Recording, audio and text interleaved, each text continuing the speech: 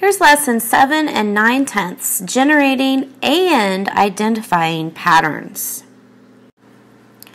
So the why to our lesson today is we need to be able to generate, which means make, and analyze, which means to make sense of, patterns. We want to be able to use our place value understanding and the properties of place value to help us perform multi-digit arithmetic. That sounds complicated, right? But no, it's kind of fun.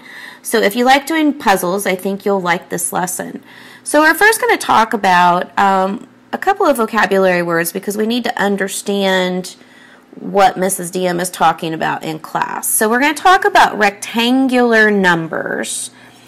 And these are numbers represented by rect rectangular arrays.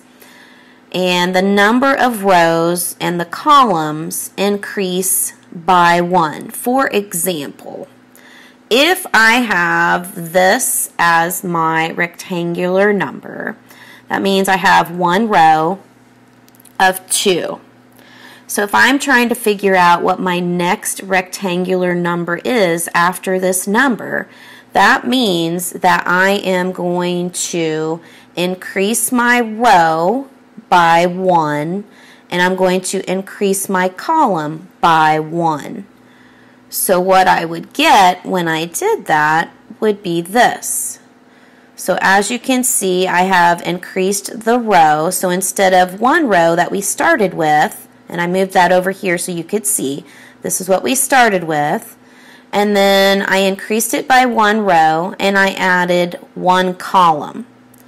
So if we want to figure out what the next number is going to be, we would have something that looked like this. So as you can see, I took this part and put it here. So this is what my original one was. I had six dots.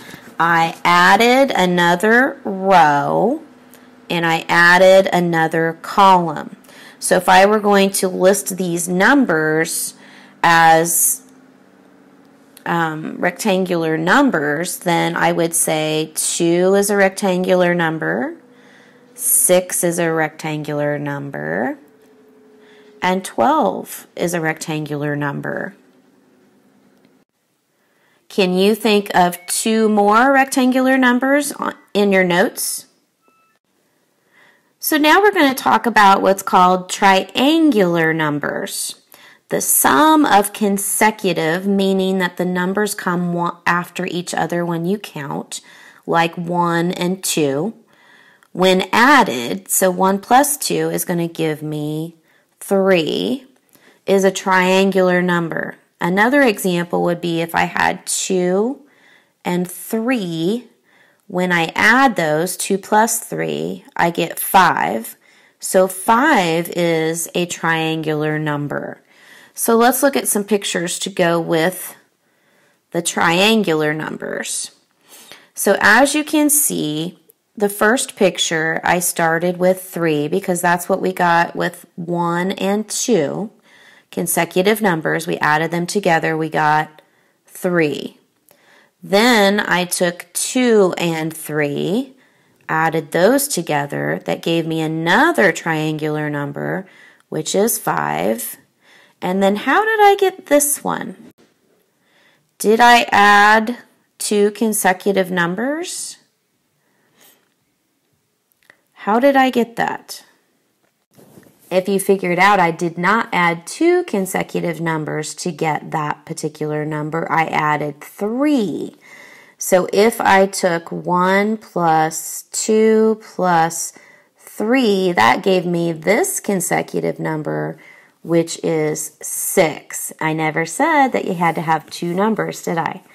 Okay, so this is kind of like a pattern, a puzzle that you have to figure out and you will be doing this in class. So in class, we will work with partners to find patterns, create patterns, and find those triangular and rectangular numbers that I have just introduced. We've got this. Can't wait to see you. Bye for now.